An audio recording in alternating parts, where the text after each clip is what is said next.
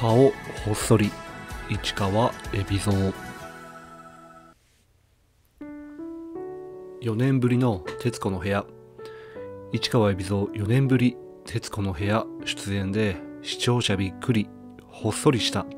外見に別人に見えた『徹子の部屋』に4年ぶりに出演した。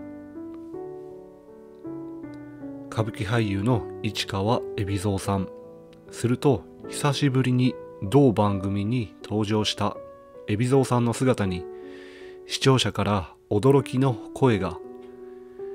市川海老蔵さん手作りドレッシングに。黒柳徹子さんもびっくり。不思議。歌舞伎俳優の市川海老蔵さんが『徹子の部屋』に4年ぶりに出演。すると黒柳徹子さんと手作りドレッシングで。トークに花を咲かせるシーンがありました。この日黒柳さんから見た目の変化を指摘されちょっと痩せたんですかね？と頬をさすりながら登場した海老蔵さん。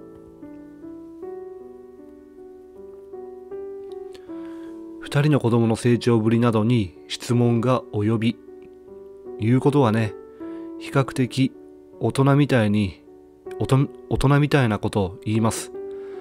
どちらかというと2人から「パパもっとしっかりしろ」と言われています。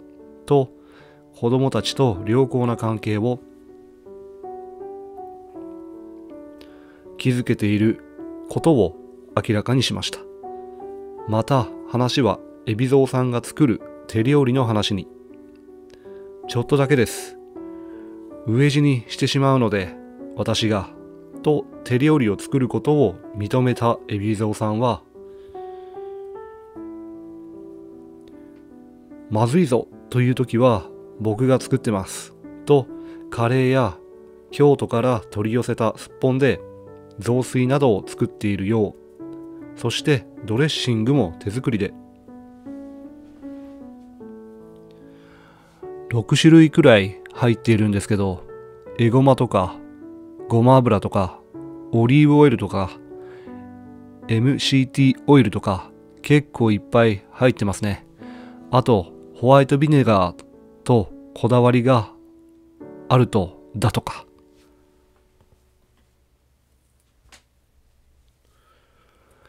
しかし黒柳さんは黄色くなるの不思議とドレッシングが卵も塩も使用していないにもかかわらず黄色くなっていることに突っ込み混ぜると黄色くなっちゃうんですね。と回答した海老蔵さんは逆に作ったことないんですかドレッシングと黒柳さんに質問。私作ったことありますけど。ああいう風に黄色くはならない。私は丁寧に作るんじゃなくちゃちゃちゃで終わりだからとドレッシング談義に花を咲かせていました。別人に見えた4年ぶりの『徹子の部屋』で。見た目に驚く視聴者。4年ぶりの『徹子の部屋』出演でドレッシングについて熱く語った市川海老蔵さん。しかし番組を見ていた視聴者はその4年前とは全く違う海老蔵さんの姿に驚いたよう。誰かに似てるんだよなと思ったら顔の作りが反町隆史さんに似てると思った。やはりあのタイプの美形は同じような骨格してるのかも。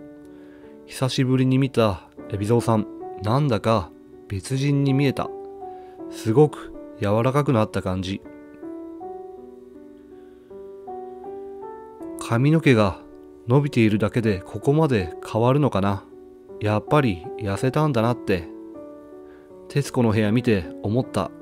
でも、ヴィトンのスーツがものすごく似合うくらいダンディーでとてもいい見た目だった。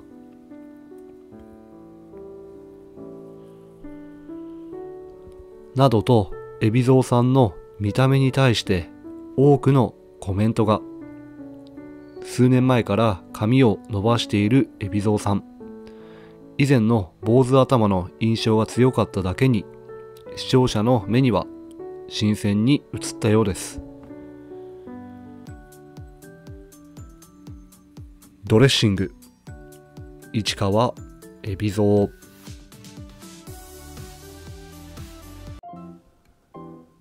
ここまでご視聴いただき本当にありがとうございます。